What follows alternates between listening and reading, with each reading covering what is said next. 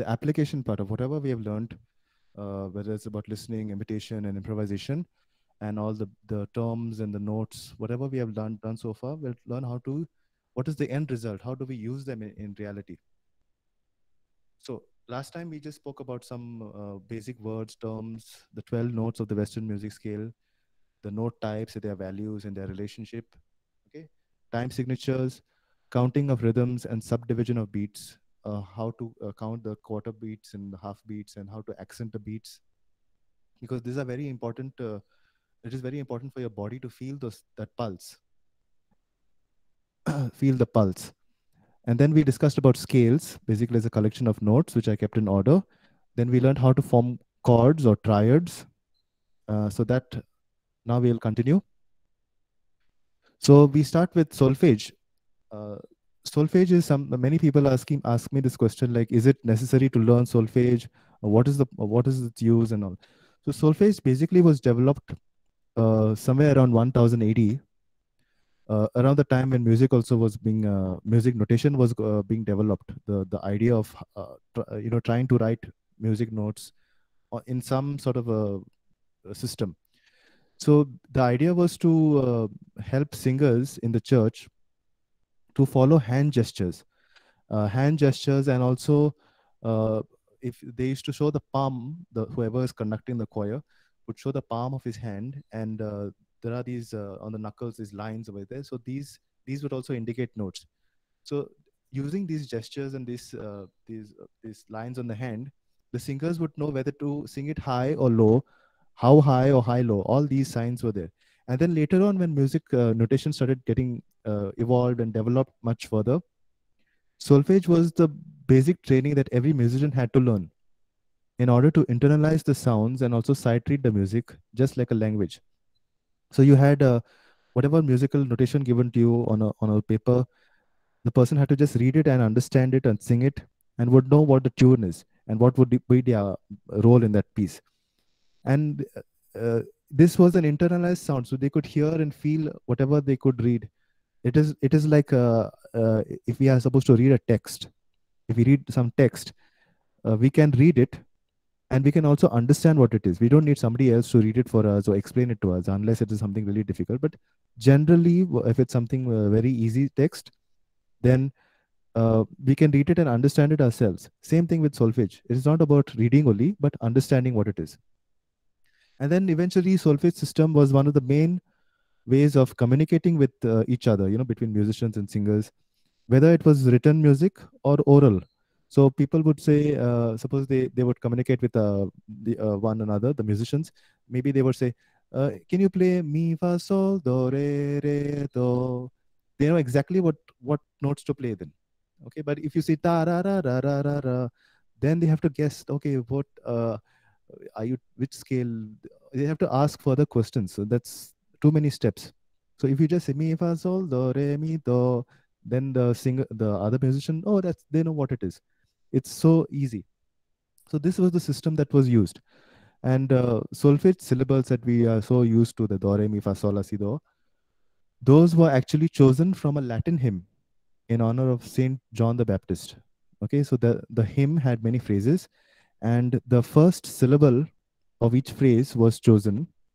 Uh, in fact, it was ut, re, mi, fa, sol, la, si, do. So you had uh, ut, ut, ut.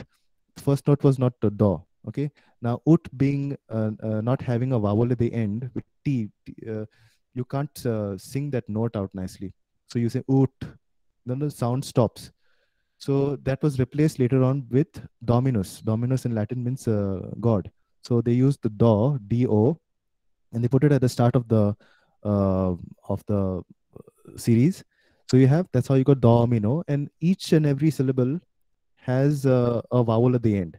So that helps you to sing these notes also better. So um, there are two types of solfege.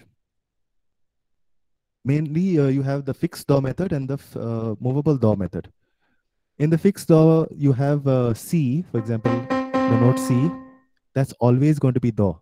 No matter which scale you choose, no matter which key you are in, that's always going to be do. Similarly, for all the all the other uh, scales, whatever you key you are, just that is not going to change. Now, uh, the other one is movable do. The do will change depending on which scale you are in. If you are in G scale, the do will be the first note of that scale, which is G. If you're in B flat scale, the do will be B flat. If you're in uh, uh, F sharp major scale, the do will be F F sharp. Okay. Now, this is very subjective uh, amongst uh, professional musicians who have learned solfege. Some vouch for the uh, fixed do method, some vouch for the movable do method. Both have their advantages and disadvantages, and it depends on the person who is actually using them to see what which method works. Personally, personally, I feel it's good to learn both because there there has it. Uh, for example, fixed do has this tendency to work well with pieces which are again pieces means songs uh, which are having a lot of key changes okay? The different key centers that constantly change in the piece uh, you'll find this more in advanced kind of music okay? Or something which is written with a lot of uh, detail and depth and chromatic kind of melodies. So it normally works better with uh, those kind of pieces whereas movable do is something which works with uh, songs which are very easy basic and uh, like popular songs which don't change key much maybe one or two key changes at the most. But it's uh, much more easier to understand uh, to start out at least. When you're learning solfege start out with movable do and then you can eventually move on to fixed do to understand the, the more harder pieces. At least this works for me uh, this way. But there might be others who uh, it might work the other way around for them so uh, if you're using movable do it helps you to understand intervals. Intervals are the distances between two notes uh, and uh, also the relationship between them. Okay so you can your ear can uh, tell whether it is a third apart or a fourth apart okay using the do re do mi do fa do sol this kind of interval practice. Now uses and advantages of solfege. Why do we need to learn these things one thing is you can sight sing the music notation without the need of an instrument. Your body is your main instrument. So use that. You can read it you can understand it for yourself. You don't need to practice the song and on the this thing so it is it helps you to practice your song efficiently.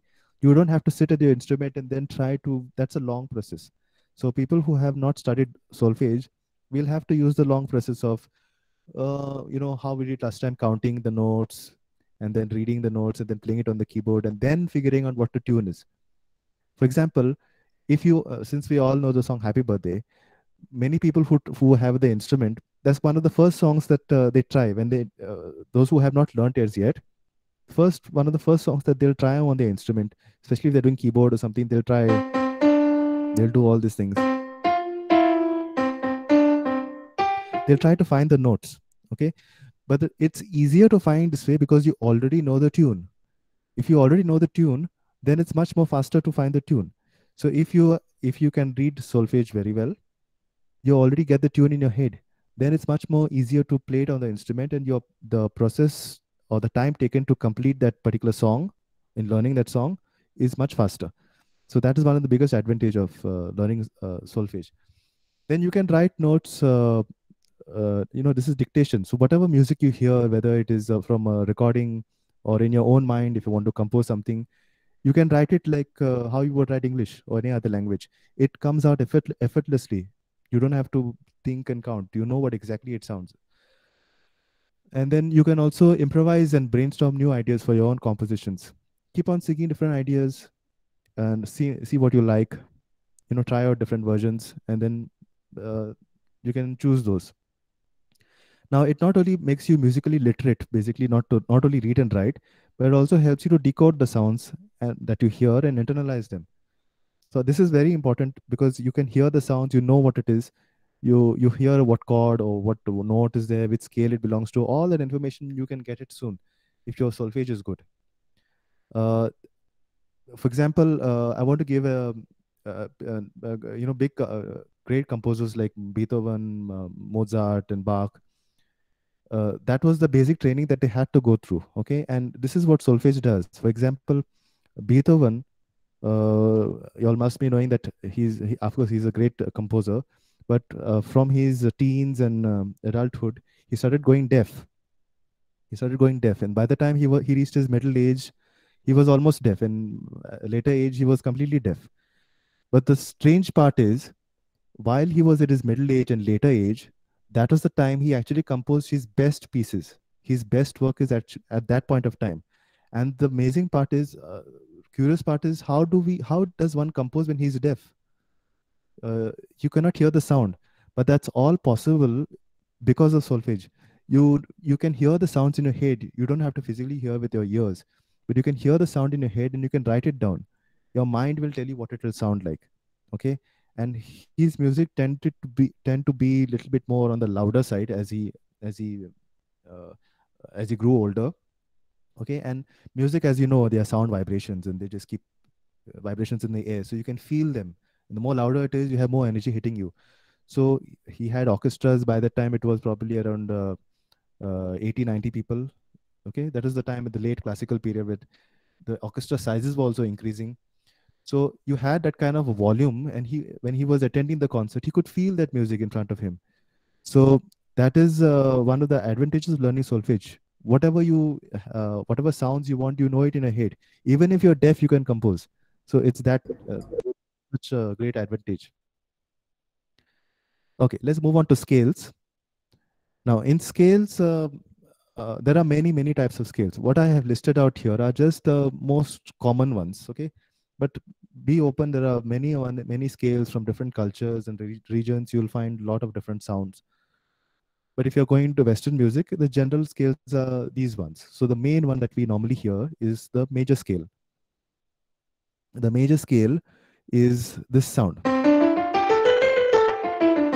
This what we associate with happy sound okay? And it's the most common sound. Do re mi fa sol la si do ti la fa mi re do. This is the sound we so uh, very familiar with. This is not just a scale that we um, learn to sing that way, but we use it to practice, we use it to compose, okay, a lot of things. Then we also have the, the minor scales.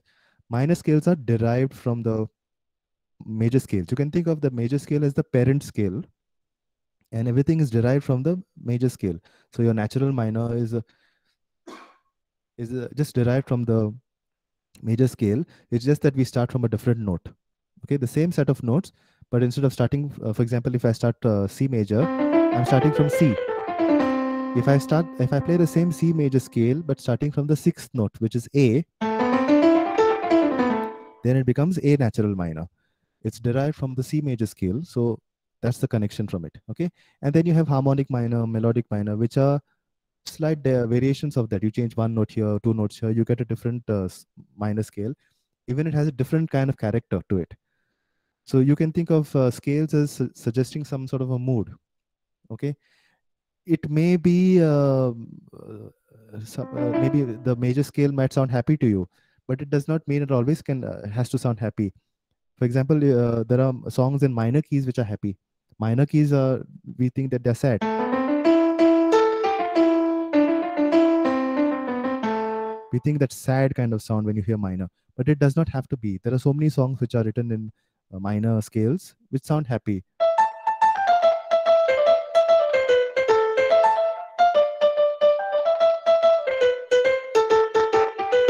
You know a lot of tunes are there which are which have this thing. It, there are other factors which which decide how it will sound what, what the mode is okay? It's not only dependent on the scale.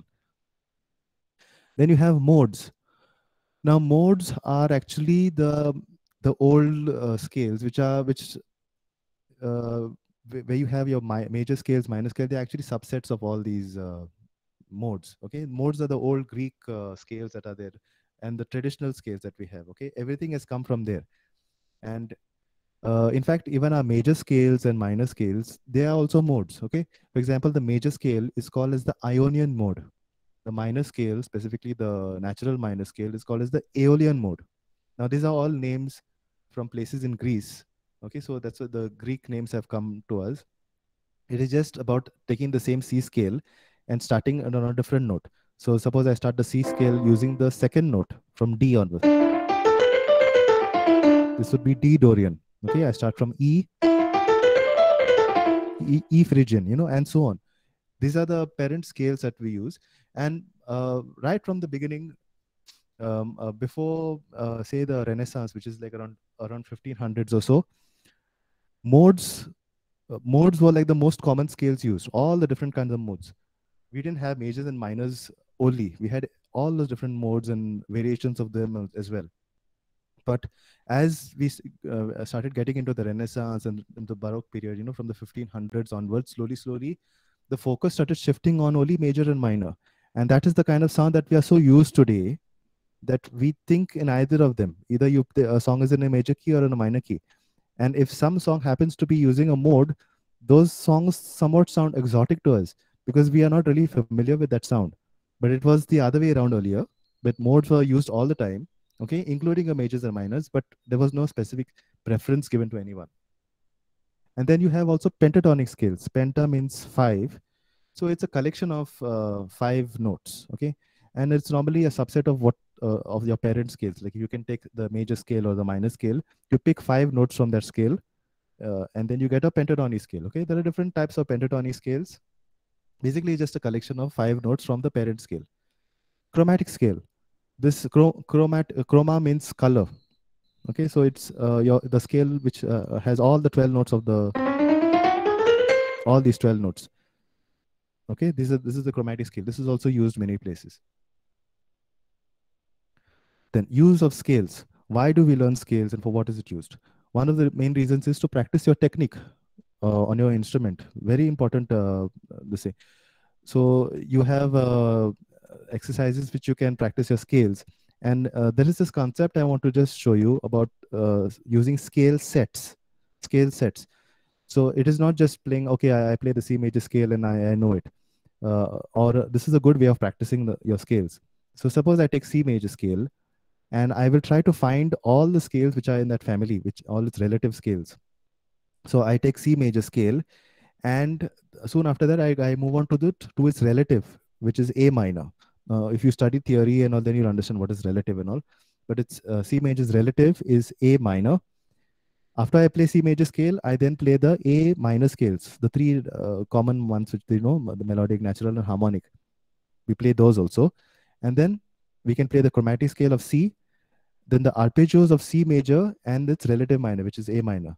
So this is this forms a very basic set, which are all within the key of C major. Okay, and uh, there are, as you know, there are 12 notes, 12 months of the year. Take one set per month. So you take the full family of C and whole set of C, practice it in the month of Jan, and then take the next set, maybe of G major scale, which is one sharp. Take that and practice in the whole of February. So by the time you finish the year and if you're consistent enough you should be able to play all 12 keys.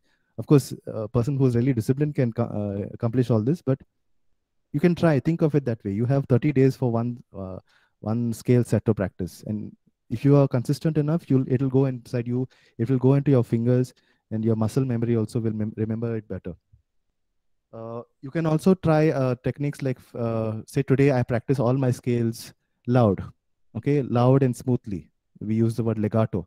Okay, I'll not use that word. I'll say just smoothly.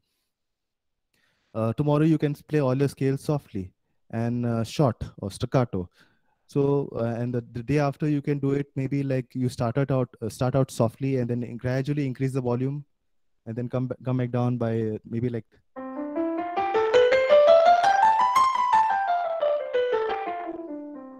you, you start softly gradually increase your volume and then bring it down uh, come back down soft. So these are different techniques you can use every day and you'll get familiar with the families as, as well okay? Next use of scales to improvise and internalize the sounds. This is just about speaking music.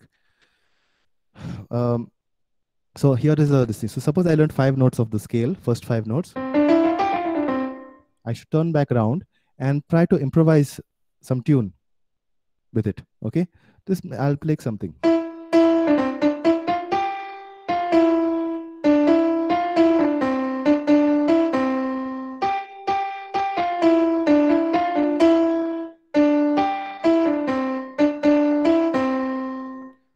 This is what I'm I'm doing here. Two two important things here. I am not just playing random notes here like this. It is I'm not doing this.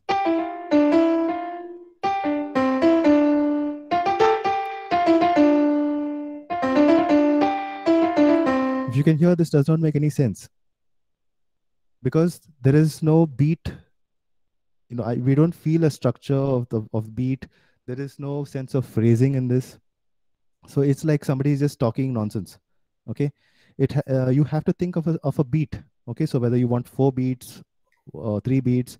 So in my mind i'm counting. I can say it out loudly also. So if i if i choose for example four beats and then i try to improvise on those four beats. One two three four. One two three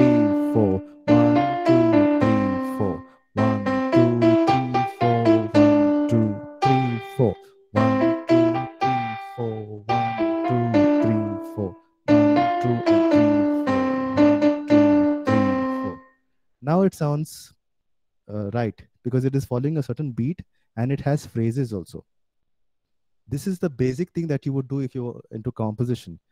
We compose small tunes and phrases, and then you eventually uh, work it out, you know, for maybe the verse, chorus, bridge, whatever other form, uh, parts are there for the song.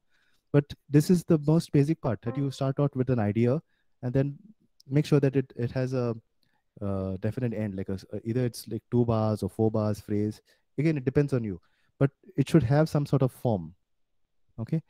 Then uh, scales are also uh, we use uh, we form chords using the scale notes like last time we discussed. The major chord or the major triad you use the first note third note fifth note of the major scale.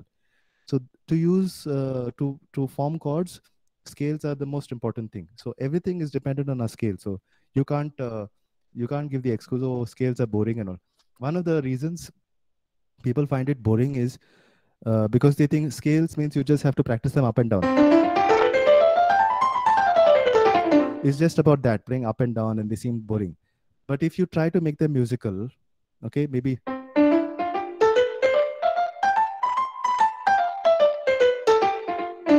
You try all these things, or maybe decorate, uh, sorry, improvise.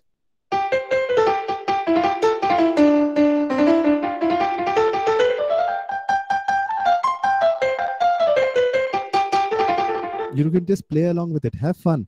It is your scale okay? Play around with it. You'll under, you'll internalize these sounds also okay? I'll speak about this improvisation in a bit but this is the idea of, of it. Okay use of chords now. Uh, so how do we harmonize chords? Uh, uh sorry how do we harmonize songs okay?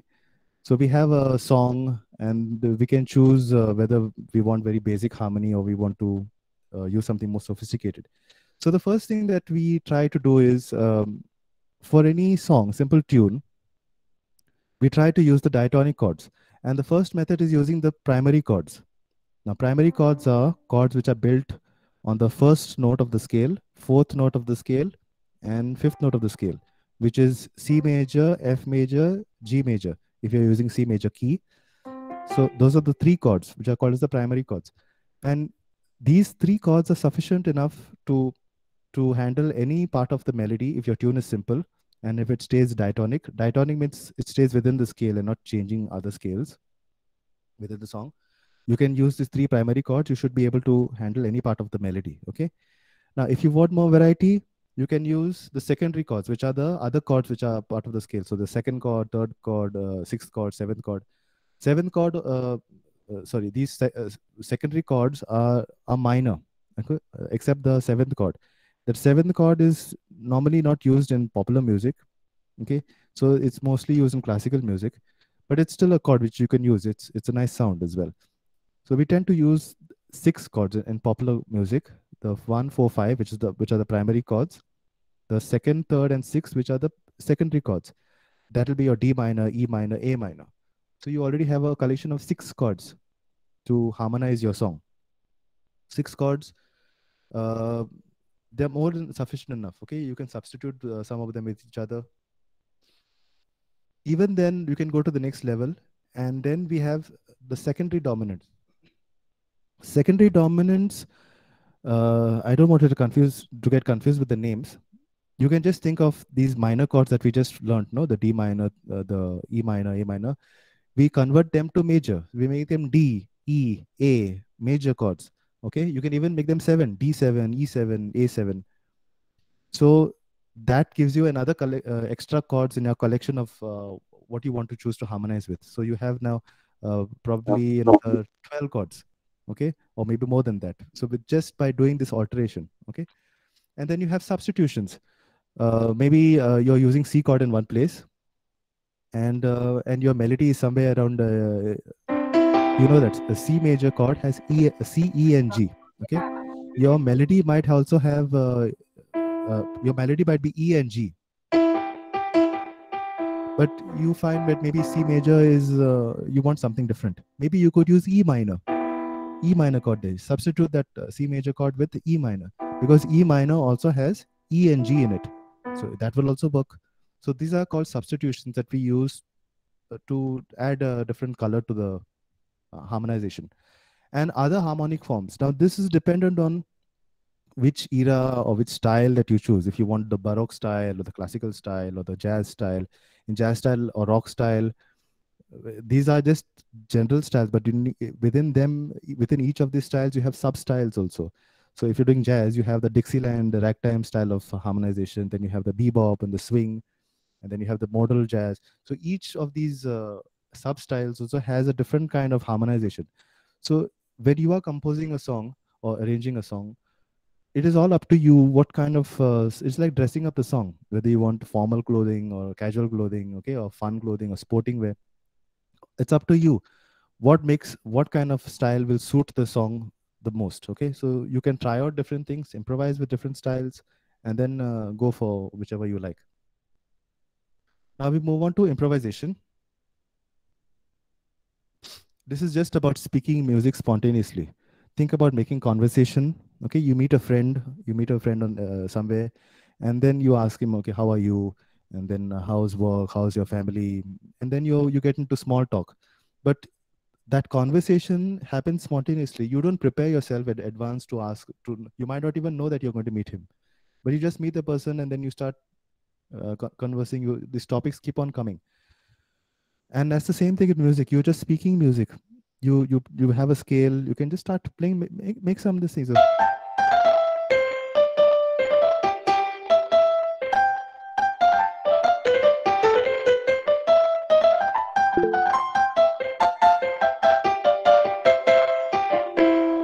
I think I missed one. I'll just uh, come back to the previous slide. Uh, I didn't show this. Uh, I wanted to demo demonstrate uh, uh, these, these chords uh, for you, the harmonization part. So suppose we take uh, uh, Mary had a little lamb, simple song, Mary had a little lamb. If I want to play it just using the primary chords, it will sound like this.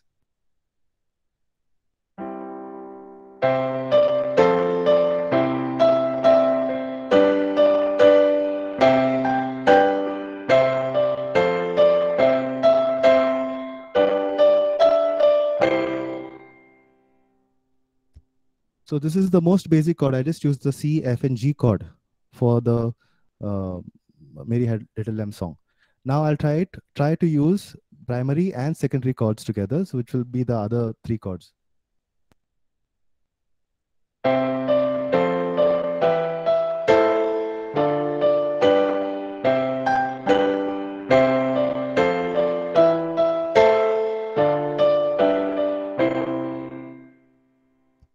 So it straight away gives you more variety, more color. Okay. And once you spend time with all these chords, you will know instinctively what what will go well with it. Even before playing the chord itself, you know what the sound is, and you can actually start writing chords on your score without even playing them because you know the sound in your head. It's a, it's just about time about uh, spending time with the chords, and you'll you'll know it. now we'll try to play the same song using secondary dominants, which means I'll I'll try to convert the major chords, uh, sorry, the minor chords into major chords or, or make it sevenths.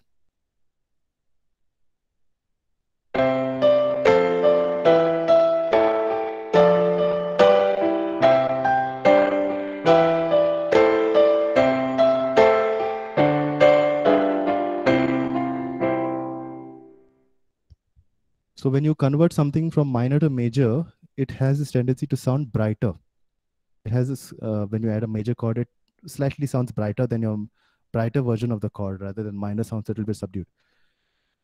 And then uh, you can choose. Like suppose you want to do um, i'll take a little bit i'll take a different song when i want to do to show different harmonic forms like or or maybe styles. So if i take the song uh, Morbalodo, everybody knows Morbalodo song and i'll show you how how you would uh, try to dress it up Okay, now I'll I'll first play the the traditional the, the sound that we normally know how it sounds, but then I'll try and experiment with other uh, other styles also to give you an idea how how you can uh, try different uh, songs, uh, different styles, and then you decide what you like.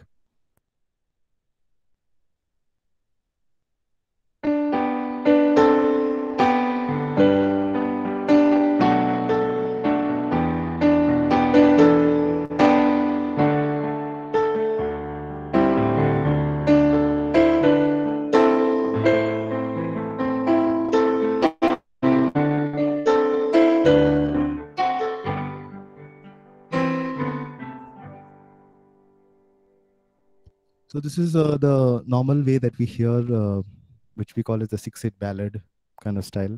Okay. Now maybe I could uh, uh try this with some blues, mix, uh, try to the blues style.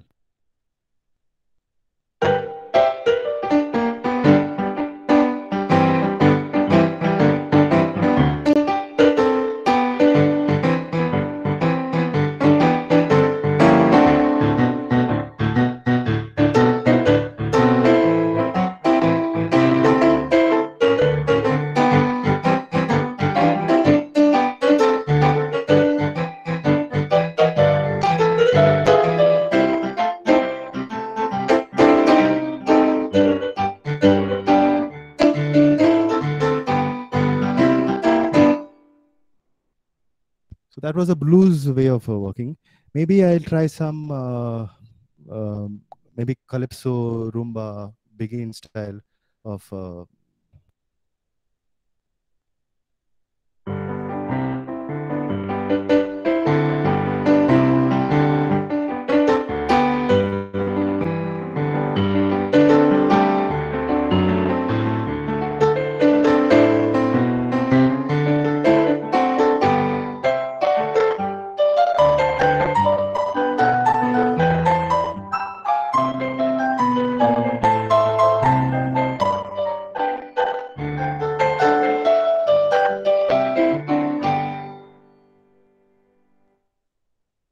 uh, like this, you can keep on going and experimenting with different songs. You're just dressing up the songs with different clothes.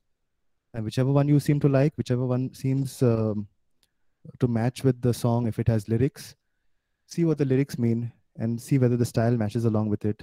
Okay. So this is how you would choose uh, the chords. Okay. Then we uh, talk about improvisation. So when you're improvising or when you're making conversation with your friend, you are talking something that is making sense or meaningful. The conversation is meaningful. You're not talking about uh, you don't keep on jumping from one topic to the other without uh, you know making any connection with the uh, the other person. So if you do that that person will say are you crazy? and will just walk away. And in the same way uh, this happens in music that um, uh, as we keep practicing and playing different kind of songs uh, our fingers tend to memorize certain finger patterns and uh, or they're also called as licks, which happen instinctively. You don't even have to think about it, but it just happens. We just play, end up playing those things. Okay, everybody has these kind of sounds, patterns, or licks. Even the great musicians. But what happens is when you start playing your improvisation and you're not thinking what you're playing, then it uh, ends up you you just end up these finger patterns and licks, and then the person whoever's playing they start to feel uh, very bored or uninspired and they say why is it not sounding right? I just i just want to get over with the show i just want to go home. I don't i don't feel anything good. Because they just they just end up playing finger patterns with and they're not they don't feel the music. They're not they played it so many times those patterns that uh, later on it doesn't feel anything. They're not creating something new. They're not doing anything spontaneous. So that is one of the biggest challenges of improvisation that all improvisers uh, uh, struggle with and it's how much uh, it is it is best to avoid these finger patterns and try to, your best to put your mind in a certain zone where you're just trying to think creatively. It's a very good zone to be in because you will be surprised by the kind of ideas that you come out with. And uh, the, the person who's doing it themselves will feel it. And there's a certain joy that you get from doing that. Okay? Uh, another thing i want to say about improvisation is uh, no, normally we think improvisation is uh, only has something to do with jazz or rock and uh, improvisation is not in classical music or anything uh, than that this is not true. Uh, improvisation is has is there in all styles and improvisation was the style ever since the beginning of time okay? So you there were no there was no notation before nothing was there. Improvisation was the main kind form of music okay? And right up till as i was saying 1000 AD or so around the time when they started to learn how to find a way to write music. Right up till that time music was just basically uh, oral tradition it was just passed on from one person to the other and uh, to the generations. And you know when one when things uh, come orally things are uh, added um, you know masala is added and things by the time it reaches to the next person or the third person it is having a lot of changes in it. So things were you didn't have you didn't even know who was the who was the composer of some pieces. So there was this concept of composer was not there because nobody knew what it is who it was. But the moment you had um, uh, music uh, the moment music notation was uh, written down then you got people writing music and it's there for record. So you have this composer and then you have uh, all these things uh, we have all these different eras then we have the renaissance and the baroque classical period. So now we don't we don't have recordings of them improvising. They were all uh, for example bach mozart beethoven. They were celebrated improvisers during that time okay? But the thing is there are no recordings because there was no audio recording equipment at that time. So we don't have recordings. But from whatever other uh, from the biographies and all whatever information is there they were they used to have uh, uh, uh for example piano competitions so beethoven was uh, was so fiercely known for being uh, so good at improvisation that they used to have the best pianist from the big cities in europe at some royal courtyard okay? And uh, they would choose all all the musicians to decide upon one piece of music. And they all had to play the same music and they would take turns. And it was a competition where you take that song and improvise and try to show off your skills okay? Then the next musician would come and then play and beethoven would sit at the right at the corner and just you know make fun at them and say oh that's all you got like you know uh, you can't get better in this. And then finally uh, he comes and plays and just dazzles everybody because he wanted to be the best you know. So improvisation has always been there and it is an important part of uh, of music. It can't it you can't say that improvisation is only jazz and it's not in classical because basically to improvise uh, to compose you need to be able to improvise so that you can find ideas for yourself and then you can uh, uh, see what uh, what works if you don't can't improvise then composing becomes a problem okay then it becomes more mechanical rather than by feel in in that aspect so when you're improvising, it uh, you have to try to tell a story with your improvisation. It it should have emotion and dynamics. So if a story is bland, if it does not have any uh, good good uh, substance, nobody will want to hear. You you need to draw in the listener. So if your music or your improvisation has emotion and dynamics, uh, you, if you if you play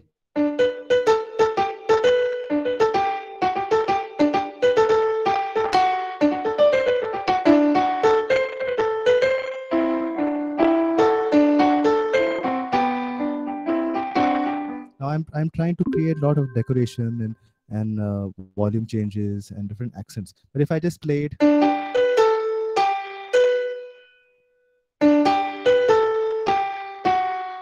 Okay, this is fine. This is fine, but this is just the main melody. And if you keep on playing this, uh, the people will get bored. You need to keep them engaged, right? So you need to do something to keep them engaged and and do something with the emotions decorated uh, use dynamics okay then improvisation is also about playing what you hear in your head. We have some tunes in our head that need to come out through our fingers or the mouth depending on what instrument you play. Uh, is my chat muted?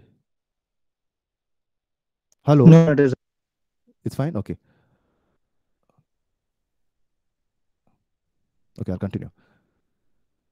Um, yeah, so when you're improvising, you need to play what you hear in your head, not the other way around. Okay, so I will uh, show you an example of uh, uh, playing it, playing what I hear in my head. Then I'll do the other way around.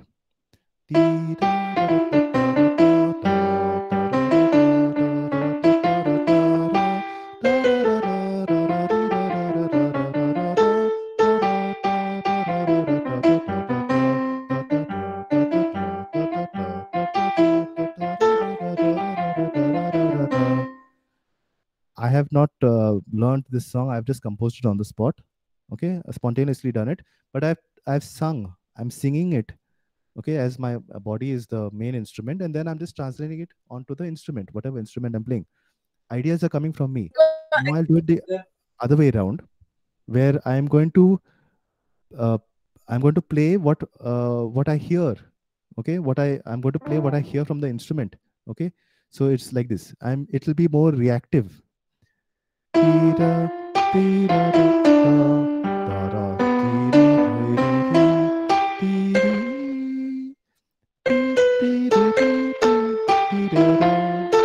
you can see I am late.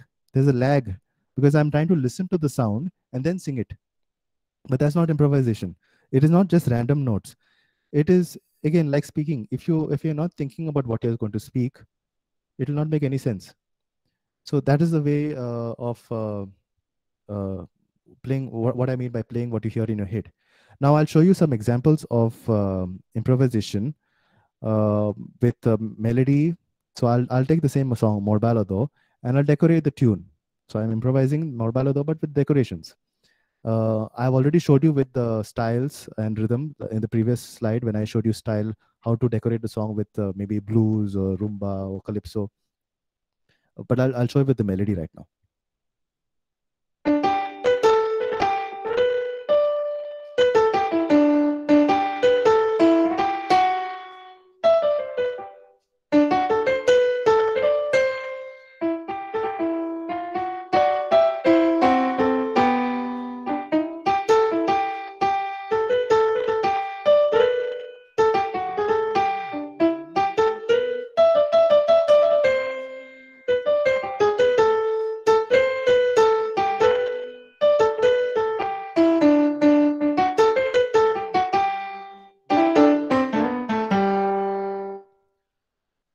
I'm singing in my head or I'm singing, humming the tune while I'm improvising. And this is going to give me good ideas or creative ideas. And it'll, it will uh, help me to avoid what I have these uh, finger, memorized finger patterns and keep me interested in playing. I won't feel bored to play that particular song. I'll enjoy doing it. Okay, so we'll move on to the next one. Okay, so uses of improvisation. One is if you're into composition, you can brainstorm different ideas, see what you like, and then choose uh, and then finalize that for your composition. You can also uh, uh, when you if you can improvise you can jam along with other musicians. You have friends who are musicians. Um, if you're only stuck you know if you're only able to read notation and play then you're unable to jam with other musicians. Un unless you're unless you all all your friends decide to play a certain song where they're all following the same score and then they're just reading and playing together. But jam sessions are most all supposed to be oral. You're just playing everybody's listening to each other and then even when you're playing with uh, in a band uh, whether it is uh, whatever you're playing at a restaurant or a wedding or whatever it could be listening to each other is the most important thing okay? Because uh, in a band say for example there are four musicians and if all four musicians are good okay it doesn't mean that all four musicians are going to show off their skills or exhibit their skills at the same time because that will all be a mess. They're not going to do you're not going to be able to uh, distinguish who is playing what and what is happening. It just will sound chaos. So it's listening to each other, and it's like having a group discussion where one person is speaking and the others are just seconding or you know disagreeing or you know having a discussion. But there is the focus is going to keep on shifting from one musician to the other, and that can happen only if you listen listen okay is that person playing uh, okay uh, it's my turn to play okay i'm playing something. And then the other musician is listening okay okay then I, will play something uh, in support of that other musician just to give him a push you know sort of encourage them. And these are things that happens when you're jamming along with musicians but it happens by listening to each other. If you don't listen to each other then they'll say what uh, they'll be like hello where are you you are you uh, are you with us that they're not going to say that but that's the kind of thought which happens in the musician's mind so you need to uh, understand that listening and uh, how to jam along with other musicians.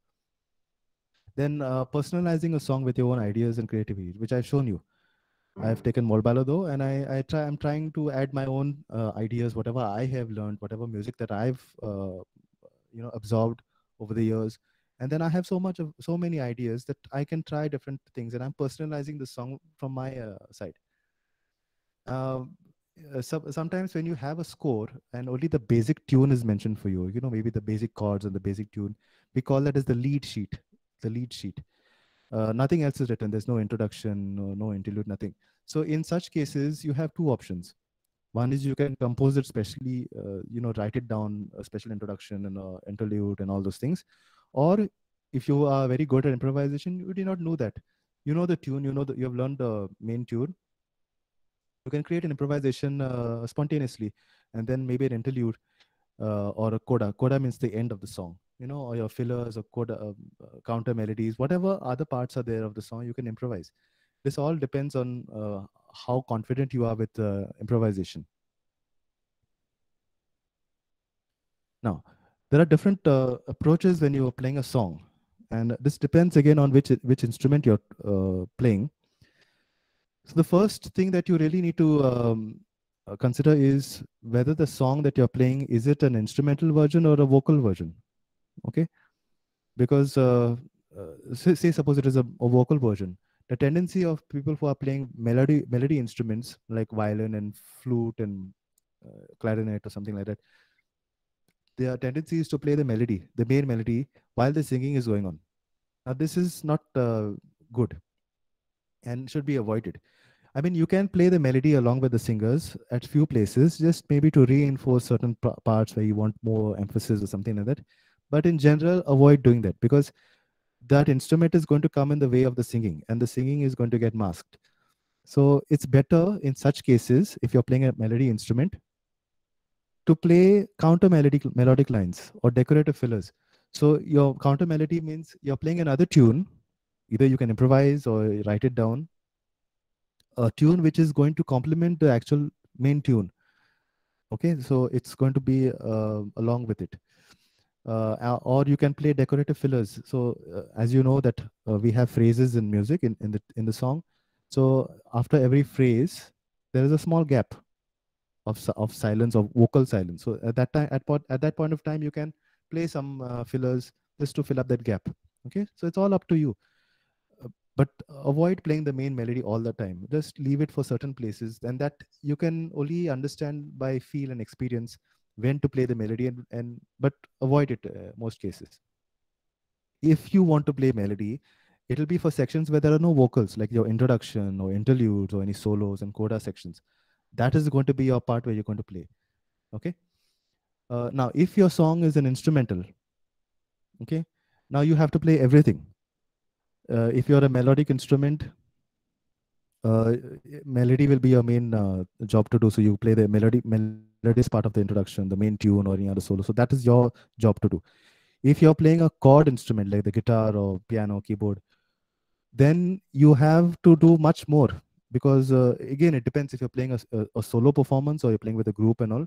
But say uh, so suppose you're doing a, a, a, solo performance and you in that case you need to play everything right from the bass line to the chords to the rhythm to the melody okay? Everything else also even the form the the, the intros the verse chorus all those things.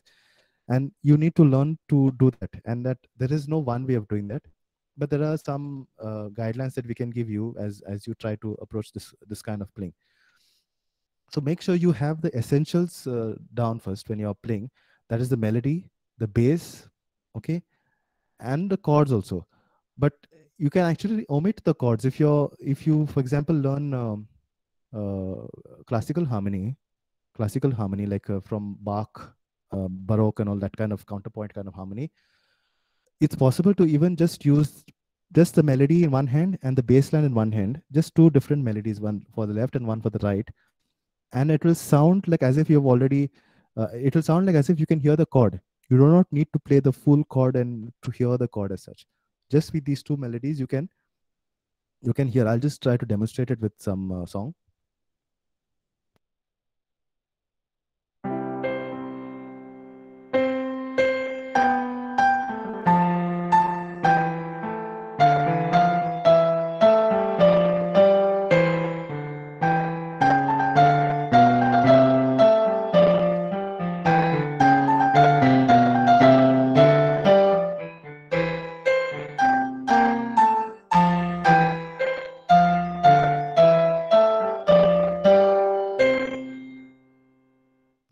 Just played two melodies in, in uh, one in the right hand, one in the left hand. I did not play any chords as such, but you can still hear that there are some chords and you can hear that feel is of the chord is there. So if you can do this, it's a good uh, exercise, but you can you have to study cl Western classical harmony, especially of the Baroque era. Then you can do this. But or if you want, uh, the most common way is to play all the three: melody, bass, and chords.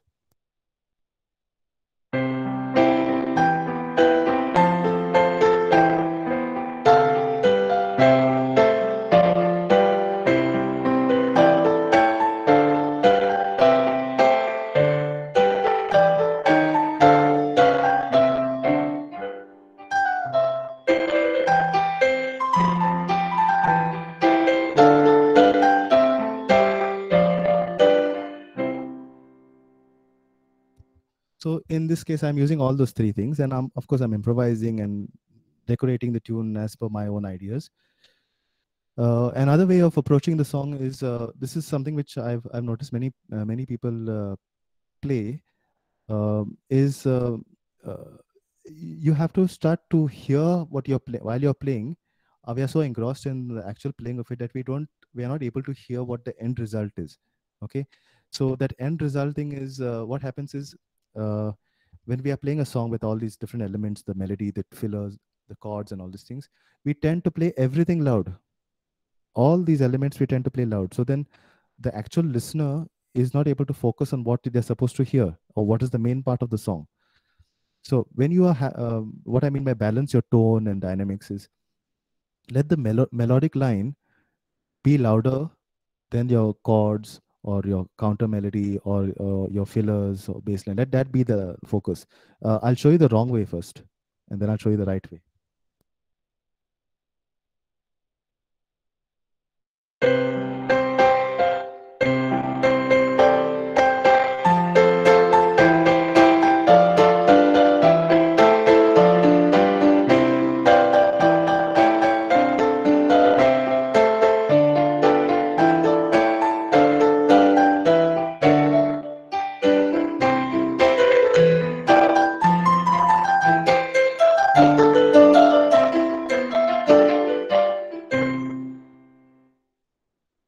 Well that's that is uh, there's nothing wrong with the playing as such. It's just that because of everything sounding loud it's difficult to focus on what is the actual part. But now i'll try to play uh, uh, in in a way where the melody is louder and all the other unimportant parts are on the softer side. So there's uh, much more focused listening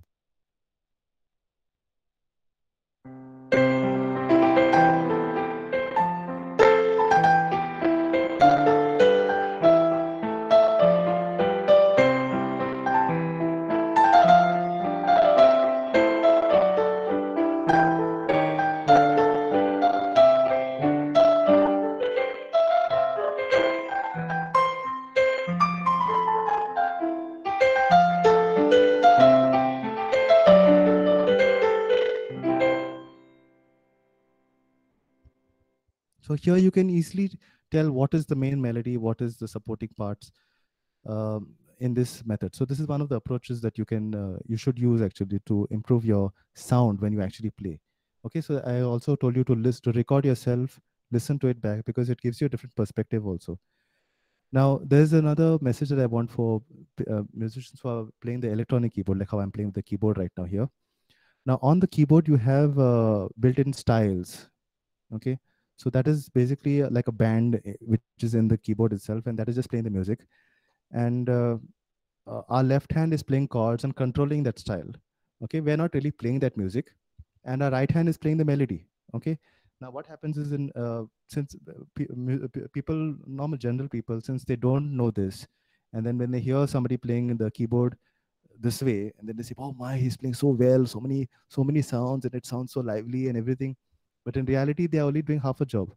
So what i would suggest to y'all is uh, y'all can use those styles. But what what i i think i explained into uh, for the first lecture that you listen to what the style is doing. Listen to each and every instrument of the style and then imitate that thing.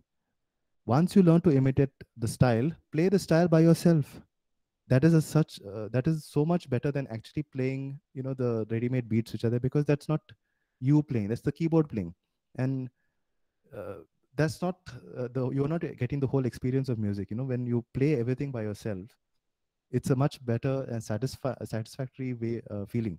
I'll just show you. I'll take uh, uh, mary had a little lamb and uh, i'll show you what you can do with it. Okay just you can put some styles play play the styles yourself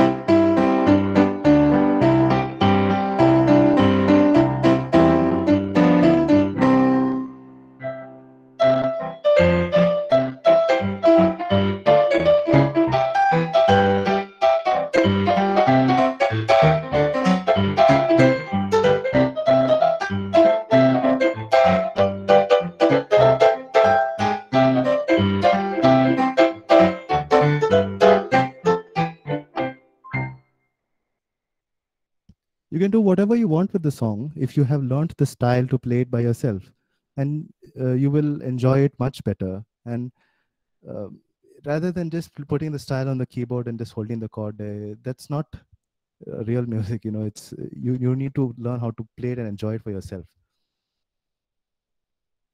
Okay personalization about of the performance. So whenever you're playing a piece uh, whatever it may be whether even if you're playing it for a concert or for an exam adding character to the piece is very important because if you play it without any of emotion or any dynamics or any articulation all your notes and rhythms may be right. But if you see the marks that are given to you there'll be less because it does not have any emotion in it. There's no life in the music. And you might wonder oh i played everything right. I played all my notes and rhythms right. But I got less marks. Why is that? But the other way around is uh, if I play wrong notes and wrong rhythms, but my emotion and other dynamics and all are good, you will, you will get better marks. You will not get full marks, but you will get better marks because ultimately that is what we connect with.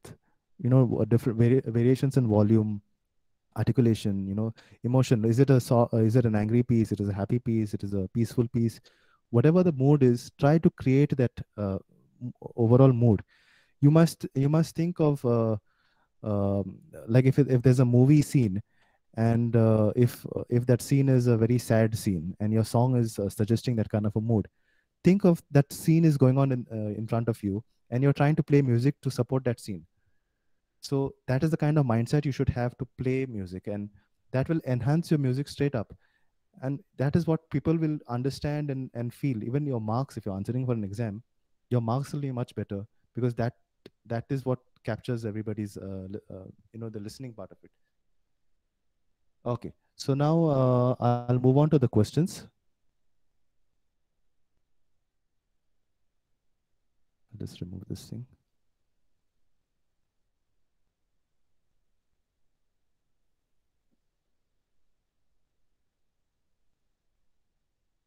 So whoever's questions can uh, type it in the chat. I'll, I'll, I'll answer them.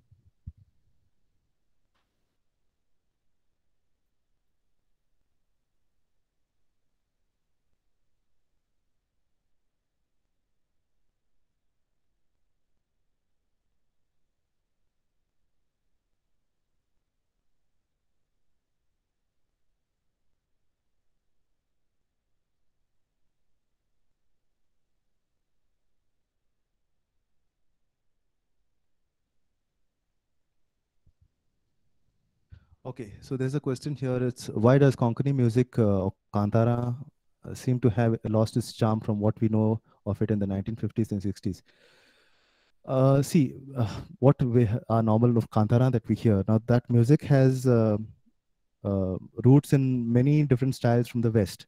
Okay, so we have, uh, for example, if you go listen to theater music, okay, if a person who's playing in a band, this is the this is the common uh, these are the common words that they say to each other you know like maybe the mystery will will tell the other musicians uh, maybe the drummer or the other chord musicians okay we're playing a song and this is cha-cha and this is disco feel this is a uh, this is a, a, rumba feel this is a rock feel you know th- this is the kind of uh, um, mood that they'll tell you or the style that they'll tell you. So the music of what what we heard of the 1950s 60s were heavily influenced from those styles which we heard you know from brazilian music mexican music uh, spanish music portuguese music a lot of that styles. And people from goa itself were you know many goans have been abroad and all at different places.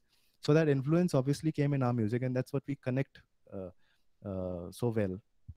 Okay? But now what has happened is uh, styles have evolved and, and so many different styles have uh, come in uh, and uh, those sounds are uh, more the, especially the modern kind of hip hop styles and the uh, what do you call them? Trance and edm and those are the those are the count, sounds that the modern generation are used to. So maybe that is the kind of sound that they like and they don't seem to connect with the older sound because they have not really listened to them.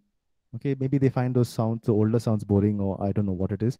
But because they don't listen to that uh, those sounds that uh, they have a different now even the new compositions which are coming out it's mostly in the new styles like either in hip hop or edm with some some some compositions are a little bit on the traditional side but generally that the trend is to move in the uh, new new uh, uh, styles. Uh, is it is it the time signature going to be the same even for uh, time signature is different. And bass clef, clef is just a key or the, the symbol. Uh, bass clef is uh, telling you to play the lower notes of the instrument. Like if you're playing the piano the lower notes that are there are the low notes. That's the those are the bass notes. If you're playing violin there is no there are no low notes on the violin. The violin is a high instrument. So time signature is referring to beats. How many beats should be there in uh, each bar? Okay so th that is two different those are two different uh, topics what is a phrase? What is a phrase? Like in a sentence no? You can think of phrases like sentences. We say uh, hello my name is jason. I live in moira. So uh, you these are uh, sentences. You can think of, of phrases also. So in music also the same thing. I have paused in between those sentences. Hello my name is jason. I live in moira. There are those small pauses which help us to uh, to uh, distinguish them out. They're separate phrases. Same thing in music. We play some idea, and then there's a short pause or a long note to indicate, okay, that's that's one phrase. Happy birthday.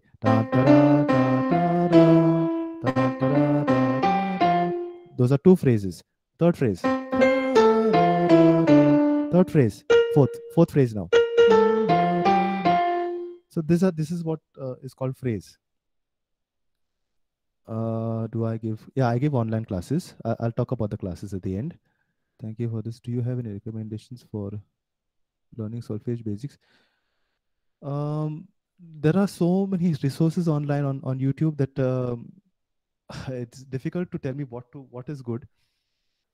It's uh, you get apps also to practice. I I myself have not learned uh, solfege online, but I've used those uh, the yellow books and all. But I've also used uh, uh, learned solfege the other way by learning by improvising and also, but I've not used it myself online, so I would not know which one. But I had checked some time back if there are some uh, videos and all. Then there are plenty of videos, but I've not seen which are the really good ones.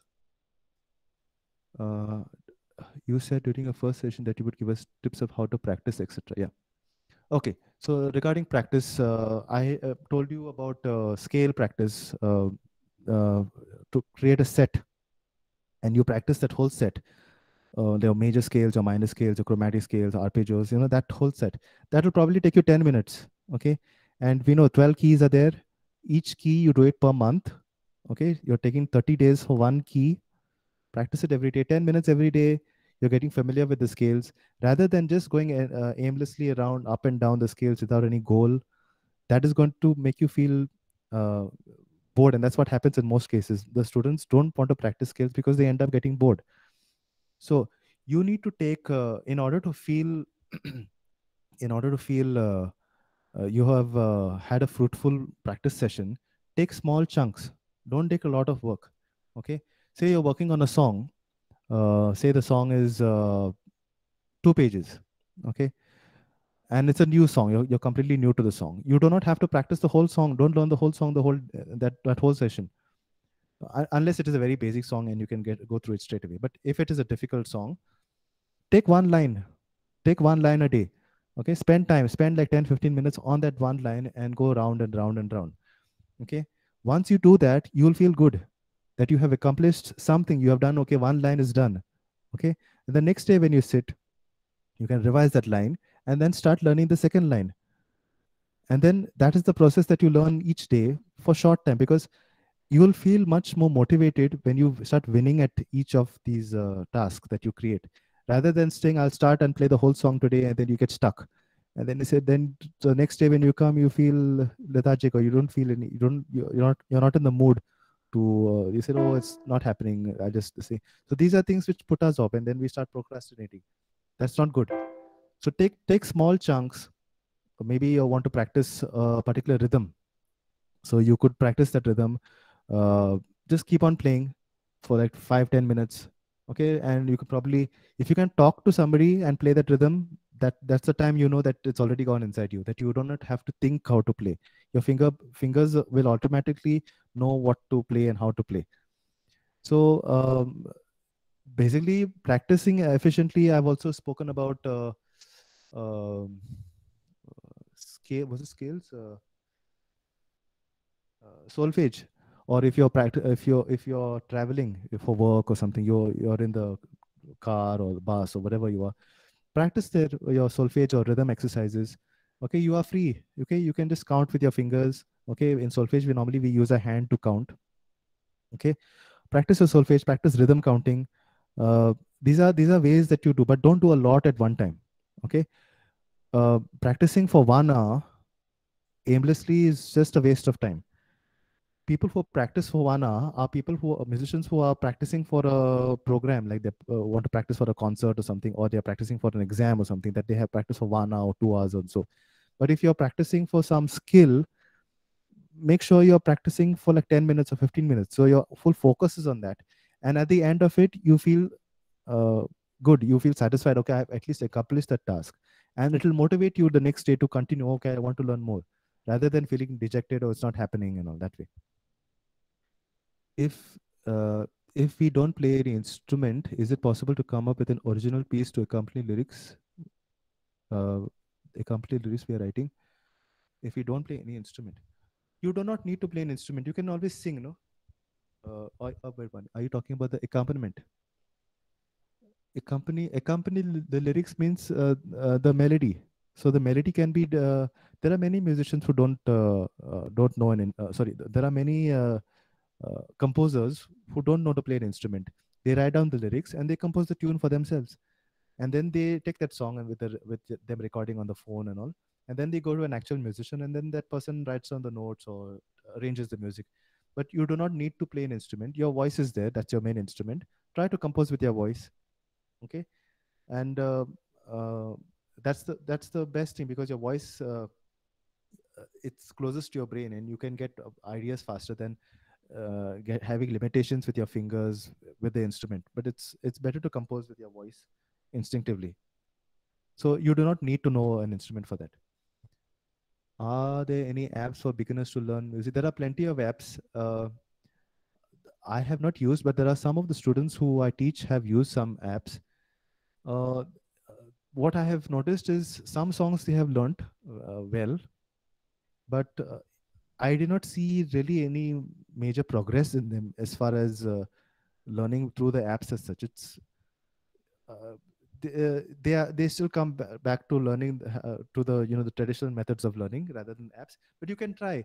You try it as a, an additional uh, source of practice uh, or or learning. Don't don't I don't know. I have not really learned it. I have not learned music using apps, but just by observing how other children have used it it seemed to me that it could help, but relying totally on that is not going to help unless they are smart enough or curious enough to start uh, uh, questioning things and learning things by observation and all. Then it could help, but it depends on the child. Uh, generally, I don't think it will help uh, if you do only through apps. What do you, what, why do you think love is one of the theme for modern? uh, why you think love love what happens is it's a very popular um, theme no it's a very and moment you start uh, they mostly compose uh, love songs with the idea that the, some band will cover that song for the wedding or something like that. That's the idea. So that's why it's a popular choice. But I would suggest there are so many other ideas in the world. Okay, for example, if you listen to Bob Dylan, one of the great uh, uh, lyricists and, and not great singer, he, he's a singer, decent singer, but his lyrics are from a different you know level itself. You know, he's even won the Nobel Prize for it so you see the kind of topics he writes on. So i would say go and experiment. Everything is not about love or uh, breakup and uh, or there are many people who write a lot of music on goa also. So that is uh, because we're goans we tend to write that. That's fine. But try to explore. There are so many topics in the world that are there and so many other emotions that we can explore. Okay? How do you reduce the vol how do you reduce the volume of chords versus the melody Huh. So now this is uh, again, it comes with practice and a lot of guidance. It's not a one day thing to learn, but you have to, if you're playing the chords and melody with one hand, generally we use the higher, the last three fingers, th third, fourth, fifth finger to play the melody and the lower fingers to play the remaining notes of the chord. So that technique of practicing the melody louder and the accompaniment part or the chord part softer, that takes time that, and that's a thing that you have to learn even your left hand part uh, if it's uh, just playing the bass line or any other chord and all you should keep it it's it's a practice thing that we have to work on. You don't do it manually uh, sorry don't do it uh, artificially by you know uh, you have these volume controls on the keyboard where the left part you can drop the volume and right part you can do that. Avoid doing those things. That's not going to help you as such. Think that they don't exist and just try to use your fingers to create those different volume volumes. Can an impatient person become a teacher of music? Can teacher of music? Well, it depends uh, actually. Some of the some of the teachers who are uh, like teachers of um, uh, the great composers and also they also had teachers who were very impatient and they would shout at them and scold them and all but eventually they became com composers but uh, uh, great composers but uh, it did have some negative effect on them also but it depends how does the student take it also. Some some uh, students uh, some teachers are very strict and they they in the sense that they want uh, uh, the student to be punctual they want commitment and discipline. Because in their in their head they want perfect sound okay? And of course they'll accept somebody who is learning and all and they'll try to encourage. But then when the student does not come regularly for class keeps on skipping classes or doesn't practice and all then that frustrates the teacher. And then you're testing their patience and uh, it depends on how you, uh, so then it's up, up to the student how to take the shouting or the criticism. If they don't uh, if they if they are not interested then the teacher can't do much. Uh, at the most they can try the teacher can try to play some pieces and inspire them but uh, you can't really bang a person's head you know to just you know be interested in something that has to come naturally so if, if somebody is uh, if a teacher is really impatient you have to question like what is the student doing? Why is the teacher being impatient? It is most of the time going to be because the student is not uh, uh, you know doing their job properly okay? Then uh, you can control the harder you press the easier. Please resend the, sorry, control the any any tips any tips for those wanting to go into the field of lyrics lyric writing? Do you need to be a good musician to do this, or it is enough to have a good poet? Yeah, the language skill is of course needed. You need to be able to write poem poems. Uh, uh, so in in writing poems, uh, we have uh, word stress. Now this is uh, this used to be the you know taken very uh, uh, seriously before. Uh, like we have these everlasting kind uh, songs which which don't have an expiry date, so we listen to them, and every generation loves those songs. And the reason why those songs are so great is because of all these aspects that they took care about. you know, they took a lot of interest in um, in making sure that the stress of the words are right. Like if I say, uh, my name is Jason, okay, or I say, my name is Jason that is the the stress is on the on name and jason. But if i say my name is jason that sounds weird. And if you compose a tune and you you stress those words which are not important it is going to sound strange and funny. And many people uh, that that uh, that is not the case in today's kind of music that you you hear all sorts of different uh, uh, uh stresses on beats and all. Like uh, if you're doing konkani music konkani lyrics the formal way of stressing the words you have to stress the last syllable of the word of every word that is there if you listen to the classics or the uh, the, uh, the written by you know people like uh, Professor Mikhail Martins or Father Lourdino Barreto. You know the, these people who have written very formal. Listen, their their lyrics are written in such a way that the the last syllable is stressed. Okay, we don't stress the first syllable of uh, Konkani words, but in in the casual, you know, tiatsi, you know, other other uh, places, it has become uh, standard that you can stress any word. But then word stress is so important to get the meaning of the words out okay? And that is important uh, as a lyricist uh, because uh, it that is also what creates the rhythm. So if i say my name is jason or i can say my name is jason my name is jason or my name is jason. In all these examples my stress is still the same okay? And it uh, it conveys the meaning of the sentence much uh, better rather than make it my name is jason. That's uh, not so good. So having this knowledge of whichever language you're writing lyrics is important. Of course to be a poet and having uh, good uh, grasp of the language is also good. But your word stress is what is going to uh, create the rhythm okay and once you have the rhythm then it's easy to put a tune to it and then the, arrange the music okay thanks for Moira. on the keyboard how do you adjust the split level uh, again, it depends on what uh, model of keyboard you're using. If you're using the lower end keyboards, uh, split is called a split only. So there'll be split level uh, in your functions. Uh, if you go to the sub menus, you'll have a S volume. Okay, so that S volume is referring to your split volume that you can refer. The only thing is you have to go and find it in your sub menus in function. Whereas if you're using the, the higher models, it is called as left volume. Left volume, and that's written on your screen itself on the main uh, board so you can reduce the volume there itself. Uh, you can do the function. Uh, off topic, please say a word. Uh, contribution Salazar music. Yes, so Salazar Dessa was uh, my first music teacher. Okay, in the 90s, early 90s, and uh, before that, in the late 80s and all, he had trained a lot of musicians. Um, along with me, there's another musician called Joshua DaCosta. He's also from Moira. We're on the same age. Okay, he's also a wonderful jazz pianist who's based in Bangalore now. So he's another great musician who has come out to him. And uh, there were two uh, all girl all girls band in in Moira uh, in the early 90s. I, I can't remember what the names were, but uh, they had also taken part in some band competitions and played for some uh, and also. Salazar was uh, instrumental in getting all these musicians together and very enthusiastic and he was also very uh, disciplined enough uh, to he would he would drill he was very strict if you came late or didn't do your part and learn your part and all he would be saying there was the other teacher also uh, uh, miss uh, philomena de cruz late philomena de cruz she also passed away in 2014 she was also uh, she was a teacher in uh, delhi and uh, pune and, and eventually in in uh, Kala Academy.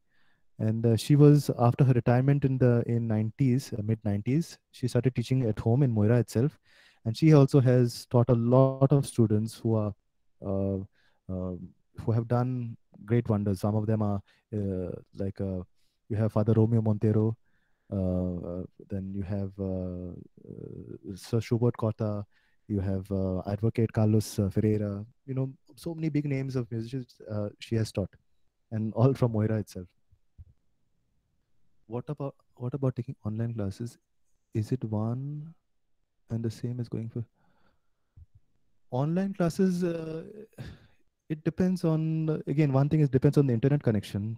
If that if the connection is good and the sound is clear enough, and what I mean by clear enough is not just hearing the note right, but also the the volume at which the note is. So I can differentiate what are the soft and loud parts so if that is fine then online classes will work okay but it's uh, always better to have an offline class you can actually feel the music as i was talking about sound is something that you hear through vibrations and the feel is much more intimate. Uh, offline classes would be always be the better option. Do you give online classes? I, I give classes online as well. How to score good marks and grades. So I, I had already told, uh, uh, spoken about this earlier, that if you notice uh, the way they mark uh, your pieces for the exams, is uh, their their their focus is not only on the right notes and all those things because I think uh, the piece uh, is out of 22 marks. Each piece is out of 22 marks, and that is divided into three sections. One is the accuracy of your of your notes and rhythms. That's I think around six marks. Uh, you know the, the, the division. So they are just giving you six. Uh, uh, I mean, out of six marks is you know they're going to decide about your accuracy, and the remaining part is about how your expression is, how is your pres presentation, your mood, how you, what kind of vibe you're creating, how you are enjoying yourself the volume, the dynamics, the articulation, all those other aspects, that's the remaining marks that you have to try to score. If that is uh, uh, good and you happen to play wrong notes or the thing, you will end up getting better marks, you know, close to 18, 19. Okay. Even though you play wrong notes and students, uh, there are, there were some, some students, uh, which I know, my students also, who actually played wrong notes for the exam, but they got full marks. They got full marks for the song. But because there are other elements of expression and all was so convincing that the examiner felt it doesn't matter that they played a wrong note. They deserve to get full marks. So those are things that you got to consider. Don't think that notes are the only thing, notes and rhythms are the only thing. It's how you say it. Because mistakes will happen. We are all humans. We'll all make mistakes, okay? No matter how much you practice, uh, you, you will always, every time you play the piece, you'll make a different set of mistakes that's unavoidable. You you you can't control that. But don't ruin the other aspects of it. Uh, how do you uh, so so there are any other more questions?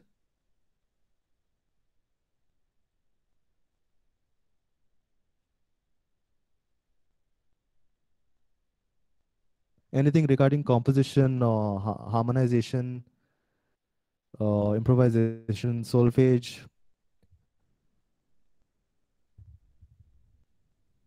As I said, all these skills are essential to learn music to uh, to improve your musicality and musicianship. If there's anything else, uh, you can let me know, or else I'll uh, wind up. Maybe I'll I'll play something if there's uh, this thing, and then we'll wind up. Uh, well, Jason, uh, all the three classes were quite interesting. I am really sorry for uh, all the technical glitches we had, uh, especially today at the start of the class. Oh, um, I now request, I now request Andrea Xavier to kindly propose the vote of thanks. Okay. Thank you. A very good evening to everyone.